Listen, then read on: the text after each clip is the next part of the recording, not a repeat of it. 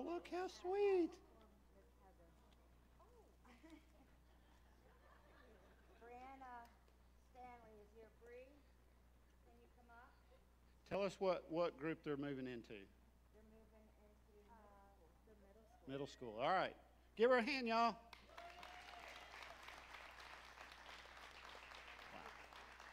then we have Audrey Fit, What group is Aubrey moving into? Middle school. Oh my gosh. Where'd she go? Aubrey, where are you?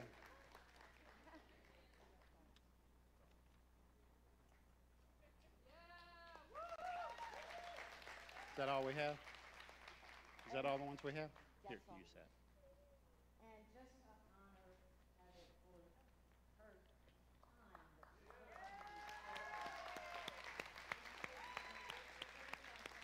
that she put in and we all love you.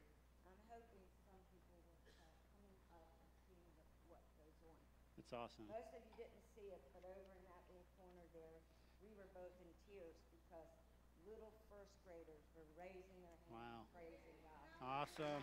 Wow. That's so awesome. And that's because you guys are teaching and training them. Isn't that awesome, y'all? Let's give them a hand again. They're going to go upstairs and have fun. They're going to go upstairs and have fun. Today is our Sunday fun day. If you don't know about that, last Sunday of every month, we, we just let them go have fun. And we've got some folks that uh, don't always teach them, so the, the normal teachers can, can get a break, so they're going to have fun today. But we got one more really important thing to do this morning.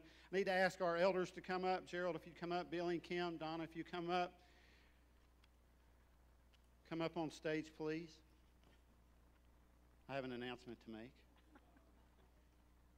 I'm going to wait till they get up here. The last one up here has to give 50% of their salary to their church. Notice Billy's coming up last, y'all. Can't get blood out of a tournament, turnip, can you? Right? All right, we are blessed this morning to welcome two more official members to Living Word Church. And I want to say something. You don't have to join the church. You can serve in almost any area in the church without becoming an official member. Uh, but if you feel like God has planted you here, it's important to, to make that claim that, that God sent me here, God planted me here. I want Him to use me here. So we're blessed to have Roland and Melody Suttles join us this morning. If you guys will come up, we're going to pray for them.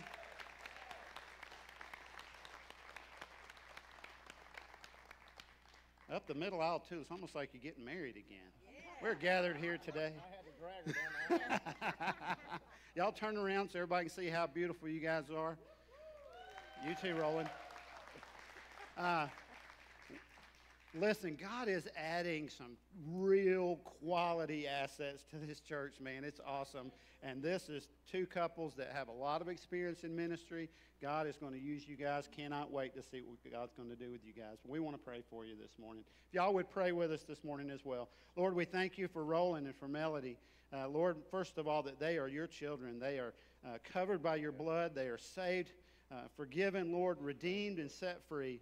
And God, and they are they are on fire for you, Lord. You have used them in the past, Lord. But Lord, we believe, and we're gonna we're gonna ask today that what they've done in the past for you, Lord, would pale in comparison what you're going to do with them in the future, Lord. We know, Father, that you are not done. You have a great and mighty purpose for Roland and Melody in your kingdom. And so, Father, we are blessed that they are part of our family. And Lord, we can't wait to see what you're going to do, how you're going to use them. Lord, I ask you to bless them in every way possible. Lord, in their family, with their children, grandchildren, God, in their business, their jobs, Lord, in their life, their marriage together, and Lord, in their ministry here in the church and outside of the church. Lord, would you give them fruit for their labor? And I know that they will give you the praise and honor and glory because you are the one that's due and worthy of it. But Lord, we ask you to bless them and thank you for them in Jesus' name. And everybody said, Amen. Let's give them a hand. We love you guys. What a blessing. What a blessing. Awesome. They, they kind of sit quiet, but I'm telling you, these are heavyweights, man. They have, they have uh, just a wealth of knowledge and experience in ministry. I cannot wait to see how God's going to use you guys. I hope that you guys will, will give them a hand and a hug before they leave today and thank them for being part of our church. Wow, it's already been an awesome day. It's already been an awesome day. Last week we started a series on the Holy Spirit, and uh, it's gonna it's gonna last, I know, throughout June. I would ask you to do me a favor. I know it's Memorial Day weekend. There are probably people that are uh, some are recovering from graduation. Um, some are, are probably taking the weekend off, and nothing wrong with that at all. But I would ask you for the next few weeks throughout this series to try your best to be here because I believe that God wants to do a mighty work in this church. And, and I know you can watch online, and, I, and I'm not saying you have to be here, but I'm telling you, when we come and we gather together, it's something special. It's just different when we're together, and I believe that God wants to do something awesome. Today is Pentecost Sunday. So happy Pentecost Sunday. I want to ask you to not rely on your tradition, but be willing to learn something or maybe be open to what God may want to teach all of us today. Um, we're going to be in Acts chapter 2, but I, before we get there, I want to say something. Uh, the Apostle Paul, throughout Scripture, there's three specific times where the Apostle Paul tells us, don't be ignorant. Um, in, in our language, we would say, don't be stupid, okay? Don't be ignorant. And, and the first one is uh, regarding Israel, their history and, and place in prophecy. In Romans chapter 11, verse 25, it says, I do not want you to be ignorant of this mystery, brothers, so that you may not be conceited. Israel has experienced a hardening in part until the full, number of the Gentiles has come in. Uh, the second place where Paul says, I don't want you to be ignorant, is, is regarding the end times. In 1 Thessalonians chapter 4, verse 13, it says, Brothers, we do not want you to be ignorant about those who sleep in death, so that you do not grieve like the rest of mankind who have no hope. And the third place is where we are. What we're talking about is the Holy Spirit and spiritual gifts. In 1 Corinthians chapter 12, verse 1, it says, Now about the gifts of the Spirit, brothers, I do not want you to be ignorant. So these three places, and I understand why, because when you talk about any of these three topics, it stirs up controversy. Everybody has an opinion, and these are matters that often, I've seen it, and you have too probably, in the church, people will be so dogmatic about their point and that they want to prove themselves right and you wrong that we can honestly have some real arguments about these things. But I want to remind you that in Ephesians chapter 4 verse 3 he says this, make every effort to keep the unity of the spirit through the bond of peace. Peace. Why does he say that?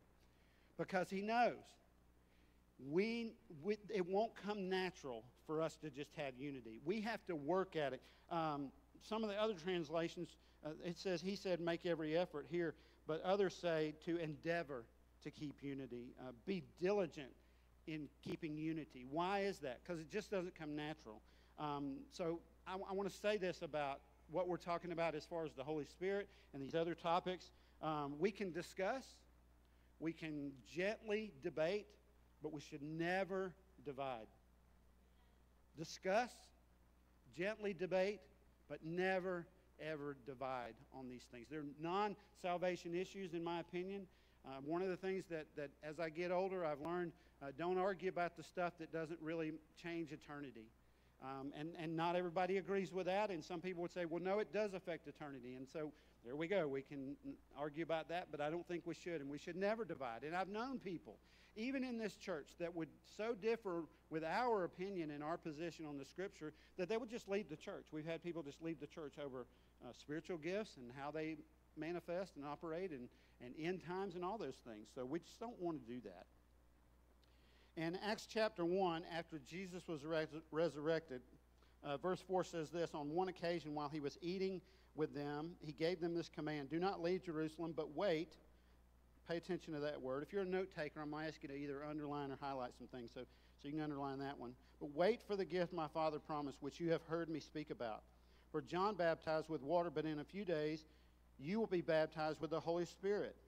So there's 120 gathered in this upper room, and Jesus is fixing to go back, and he says, Just wait. I want you to hang out and wait. Uh, another interesting thing in this set of verses, it's the last place that we see the mention of uh, Mary, the mother of Jesus.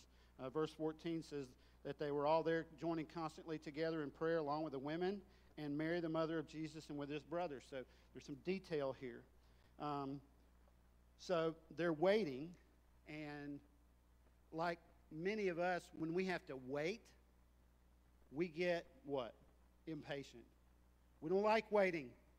We live in a world where we don't even have to wait. I heard a, a report the other day about McDonald's, and there was people complaining about how slow McDonald's was, and that their goal was to get their food to you from the time you ordered to the time you got your food less than 60 seconds.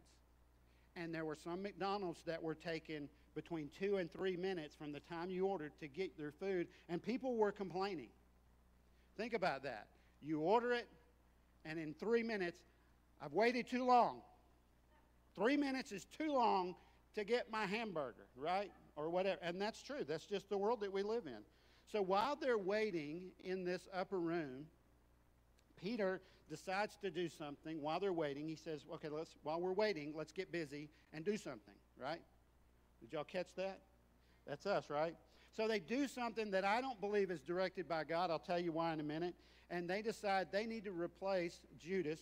And so they pick two guys, uh, Joseph and Matthias. And in Acts chapter 1, verse 26, it says they cast lots. If you don't know what that is, it's basically like rolling the dice or flipping a coin. And, and the lot fell to Matthias, so he was added to the 11 apostles. The reason I don't think this is directed by God is because we never ever hear anything else about Matthias. Nothing. I mean, not even being martyred for his faith. He wasn't, you know, I mean, nothing. We, he just, this is the first and not last time we hear anything about him. I mean, you would think that something, he would do something worthy of being mentioned in the scriptures. But, and quite honestly, I think we know who God's choice is. And we find it in Acts chapter 9 when Paul is chosen by Jesus to be an apostle. And he says, uh, Paul says, I am chosen as one abnormally born, he would write later, but chosen by, by God. The other thing, I, other reason I think it's not directed by God, this is the last time we see anything about uh, casting lots in the Bible. Why is that? Because when God gives you His Holy Spirit, He will guide you. He will direct you. He will speak to you. He will tell you what to do. You don't need to be flipping coins. If you're a coin flipping Christian, stop it. You know, it's like, should we sell our house or not? You know, should we get another job? To stop doing that. Pray. You know, get on your face before God. Fast if you have to. Um, but just stop flipping coins, okay? So, Pentecost. So, Pentecost is 50 days um, after Jesus was resurrected. Uh, how many of you know how many days Jesus walked around on the earth after he was resurrected? 40 days, right? So how many days do they have to wait? 10 days. Thank you. Great. That, hey, you guys are smart. You knew that because you were in school when they were actually teaching, teaching arithmetic. I, I don't know what they're doing these days, y'all. They're just like teaching pronouns or something. I, I don't know. I don't know what's going on. Uh, but anyway, so 10 days. So Acts chapter 2, verse 1 says this when the day of Pentecost came, they were all together in one place. Suddenly, a sound, highlight that or underline it, a sound like the blowing of a violent wind came from heaven and filled the whole house where they were sitting. They saw, mark that down, write it down or highlight it or something. They saw what seemed to be tongues of fire that separated and came to rest on each of them. All of them were filled with the Holy Spirit and began to speak. That's the next word. Uh, highlight, write it down, or circle it or something. They began to speak in other tongues as the Spirit enabled them. Verse 5 says, Now there were staying in Jerusalem God fearing Jews from every nation under heaven. When they heard this sound, a crowd came together in bewilderment, bewilderment because each one heard their own language being spoken. Utterly amazed, they asked, Aren't all these who are speaking Galileans? Then how is it that each of us hears them in our native language? Parthians, Medes, and Elamites residents of Mesopotamia, Judea and Cappadocia, Pontus and Asia, Phrygia and Pamphylia, Egypt and the parts of Libya near Cyrene, visitors from Rome, both Jews and converts to Judaism, Cretans and Arabs. We hear them declaring the wonders of God in our own tongues. Amazed and perplexed, they asked one another, What does this mean? Some, however, made fun of them and said, They have had too much wine. You know, if you can't explain it, just blame it on the alcohol, right? But there are three phenomena going on right here that, that I want to kind of talk about today. The first one is an audible phenomenon. It was a sound. The second is a visible. They saw something. They saw these tongues of fire. The third is verbal, where they were speaking in unknown or known languages to those that they were speaking to, but they were unknown to those that were speaking them. So why Pentecost? Well, the short answer is God has been unveiling his plans throughout history to the world through the ancient Jewish feast. Let's look at Jesus. The parallels to Jesus and, and the Spirit being poured out to the Old Testament is just uh, amazing when you really look at it. Jesus was crucified. He died on Passover, one of the feasts that we remember talked about uh, in Moses' day. That at the same time, lambs were being sacrificed in the temple. Jesus was being sacrificed as the Lamb of, the God, Lamb of God who gave uh, his life to save the world from his sins at the same time on the same day. Three days later, he rises from the dead on another feast, the Feast of First Fruits. This is, this is the time where Jews would present the first part of their harvest to the temple, just basically to thank God. And at the same time, Jesus rises on this feast to show them that, listen, I am the first of many who will rise from the dead and give glory to God and, and, and with a glorified body. And then 50 days, the, the next feast is the Feast of Shavuot, or the Feast of Weeks, or Pentecost as we know it. This is where God poured out his Spirit in Acts chapter 2. So the word Pentecost just simply means 50 or 50th. So there are two reasons, I believe, why God chose Pentecost. The first is a historical reason, where God wanted to commemorate the giving of, a law, giving of the law on Mount Sinai. You remember the story where Moses went up on the mountain and God gave him the law, specifically the Ten Commandments. And at the same time, while Moses was up on the mountain and the rest of the Jews were at the bottom of the mountain waiting, pay attention to that, waiting for Moses to come back down with the law, something tragic happened. They got tired of waiting and they said, We don't even know if this guy's coming back and we need some gods to worship. It just shows our need to worship, our intrinsic need to worship something. And so they went to Aaron and he said, All right, give me some of your gold and, and what he did was he throws it in the fire and he makes this gold, he fashions it, molds it into some calves, and they begin to worship these calves. I think it's interesting in, in verse number 7, uh, 32 7, it says, God tells Moses, Go down because your people have become corrupt. Now, you notice the language there? God says, Your people. He doesn't say my people, he says, Your people have become corrupt. Think about this, Dad when you come home and mom says, Your son or your daughter is driving me crazy. At that moment, I don't want nothing to do with them, right? That's kind of the thought in my mind that God's going, I'm so tired of these people, I'm going to wipe them out.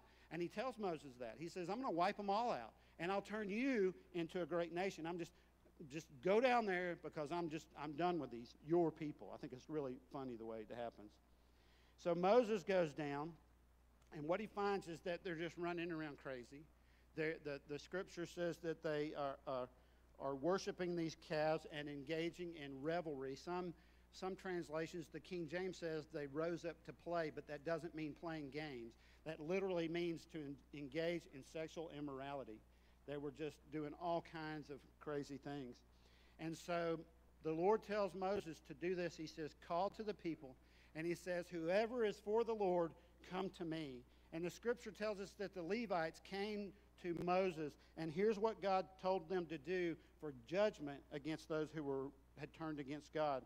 In verse 30, uh, 27 of verse, uh, chapter 32, it says, As he said to them, Thus says the Lord God of Israel, Let every man put his sword on his side and go in and out from entrance to entrance throughout the camp, and let every man kill his brother, every man his companion, and every man his neighbor. Now, we look at this and we go, that, that's so different than Jesus, right? It's not. God is a God of judgment.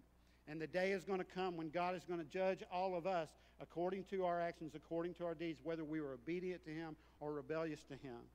And on that day, 3,000 people died. On the same day, Pentecost, the feast of Shavuot, Peter preaches a sermon. Peter, a man who failed God, denied Jesus after the Holy Spirit fell. God used Peter to preach a sermon. In verse 38, it says this that Peter said to them, Repent and let every one of you be baptized in the name of Jesus Christ for the forgiveness of sins, and you shall receive the gift of the Holy Spirit. Verse 31 tells, us that after that sermon, that 40 that 3,000 people were saved. He told them to separate yourselves from this corrupt generation. 3,000 were saved. Listen, the Old Testament Pentecost gave us the law. The New Testament Pentecost gave, uh, gives us life. The Old Testament Pentecost, 3,000 people died. The New Testament Pentecost, 3,000 people were saved and lived. The parallels are amazing. That's why we have to understand in 2 Corinthians chapter 3, uh, Paul wrote this there's a new covenant, not of the letter, but of the Spirit, for the letter kills, but the Spirit gives life. The law was never intended to save us, the law was only intended to expose our sin and show us the need for a Savior. In John chapter 10, verse 10, it says that I have come that they may have life and may have it more abundantly. John 3:16 says that Jesus came so that none would perish but have everlasting life. Life is found in the Spirit through Jesus Christ, not the law. God chose Pentecost. Why? To help us to understand that the law kills, but the Spirit gives life. Isn't that good news? So, the second reason I believe that God chose Pentecost is because of the feast. On this feast, they would bring two loaves of wheat baked with yeast. This is the only feast where yeast is actually used because yeast was a symbol of sin. And even in Passover, remember, he told them to make bread without yeast, without sin. Jesus is the one without sin. So, why did God tell him to do it on this day? Because he was the Lord of the harvest and he accepted yeast on this one feast. Why? Because God accepts sinners like you and me with yeast, with sin in us, on the same day of, of Pentecost, that God would accept them as sinners, not because of their sin, because of their repentance, because of their turning to Jesus on this feast. And just like us, they are accepted because of their repentance and welcomed as part of the harvest. We know that the scripture tells us the fields are white to the harvest. That God would send out workers, that the workers are few, but the harvest is plentiful. God wants to use people like you and me today to tell people about Jesus because there's a harvest out there that God is just waiting to reap if we will just get on board with Him. That we're to go out into the world telling people about Jesus. So let's go back to the three phenomenon. The first one is sound. It's like a wind. It says wind is the symbol of the presence of God. Wind or spirit. In the Old Testament, the word is ruach. In the New Testament, the word is pneuma. Uh, it's the Greek word, and we know this when you have a disease of your breath, it's pneumonia, right? You can't breathe. A pneumatic tools for the guys, you know, and it's like we understand that. It's about wind, it's about breath, it's the presence of God. The scripture tells us that God took Elijah up in a whirlwind and that God spoke to Job in a whirlwind. Jeremiah 30, 23 says, Behold, the whirlwind of the Lord goes forth with fury. Jesus having a conversation with Nicodemus, Nicodemus in chapter uh, 3 of John, verse 8 says, The wind blows where it wishes, and you hear the sound of it, but cannot tell where it comes from and where it goes. So is everyone who is born of the Spirit. The second phenomenon is visible. They saw, Acts chapter 2, verse 3 says, they saw what seemed to be tongues of fire that separated and came to rest on each of them. So, fire is another symbol of the presence of God, the purifying presence of God. Now, this was not a fire, uh, the tongues of fire that, that lighted on them, that uh, set on them. It wasn't a burning fire. Think about the uh, Exodus 3, where Moses saw uh, God in the symbol of a burning bush, a bush that was on fire but didn't, was not consumed by the fire. Exodus 13, where they were protected by a pillar of fire, the presence of God. Exodus 19 says that God descended on the mountain with fire when he was giving the law. Matthew chapter 3, verse 11, it says that John baptized with the Holy Spirit and with fire, presence of God. Hebrews chapter 12, verse 29 says that God is a consuming fire. So these symbols of wind, of fire, the presence of God. And then Acts chapter 2, the third one, the verbal. It says that all of them were filled with the Holy Spirit and began to speak in other tongues as the Spirit enabled them. What in the world is this all about? Oh, would you look at that? We're out of time. So that's a little teaser, guys, for next week. Next week, we're going to devote the whole study to tongues. And I want to encourage you to come. Don't be afraid. It's God's presence. I'm going to ask you to stand and we're going to pray. Father, we thank you for your word. We thank you, Lord, that uh, just the way there's, there are no coincidences in your, God, in your word, God. There's, there's, no, there's no thing that contradicts each other, Lord. The Old Testament, the law, so it works so well with the New Covenant and the New Testament, God. And even today, we can see how, God, you are always working, just like we even sang in the song. God, you're always working and trying to draw us to, each, to you, God. And, and we just worship you this morning. I thank you for your word, Lord. We thank you, Lord, that we still have the, the Old Testament, the Old Covenant, that we can look and see. Even there, God, there is your grace. While you could have wiped out the entire generation, Lord, you chose to give grace. And yes, there was judgment, but God, you still gave grace, even when you desired and your plan was to wipe them all out, Lord. So, God, I pray that today we would receive your Holy Spirit, that we would be like those early disciples, just waiting, not, not tired, not distracted not impatient, but God waiting on you to do something amazing. Lord, we're ready. We're ready. We're ready to see you pour out your Spirit in this church, in our lives, in our families, on our jobs. Lord, what seems impossible, could you pour out your Spirit in our government? Could you pour out your Spirit in a way that leaders of our nation, our state, our county, our city, our world, our country are changed by your Spirit. Oh God, that you would pour out your Spirit in this country and that people would turn to you.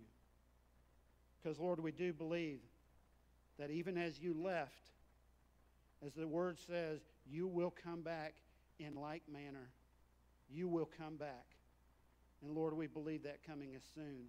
Lord, we know that when you come back, that when your feet hit that mountain, that it's going to split in two. It's going to shake the world. And for many, it's going to be too late. So, Lord, I pray that we would be the kind of people today that desire you, that have a devotion to you. Lord, that there's nothing that would stop us from pursuing you. There's not a sickness, there's not fatigue, there's not a distraction. There's not persecution or apathy or anything that would stop us from pursuing you with zeal, with passion, with all that we have, because you have all the answers, God. We need you, Jesus. We need you, Holy Spirit. We need you to fill us. We need you to drive out the evil and, and to replace it with the goodness of God, and the desire to know and love Him, to serve Him. And Lord, we pray today that you would do that for us, not so that we can brag and say we have something somebody else doesn't have. No, God, that we could have love and compassion for a world that needs you just as bad as we do. Give us boldness today, Lord. Even though it's a holiday weekend, Lord, you're not taking off. You're still at work. So use us, Father, even today as we go to restaurants and, and even home and different places to stores or whatever, as we spend time with friends. Let us know, Lord, that you are there with us and you always will be. You love us. You haven't turned away from us. And you're not done. You're just getting started. Can't wait to see what you're going to do next in this church, Lord, and in our community. That people would be turned to you, that they would be saved and forgiven and redeemed. And that a true, a true revival would start. Not a, not a marquee revival, God, but a true revival of your spirit in your church. That we would be set on fire for you, Lord that we would have boldness and courage like never before. That we wouldn't care what anybody thinks, that we would not be ashamed of the gospel, knowing that it is life and all that we need. Help us, God. We need you. Lord, as you send us out today, let us have mouths that speak how awesome you are, Jesus. And we'll give you praise and honor and glory for it. In Jesus' name. And all God's people said, Amen. Love you guys.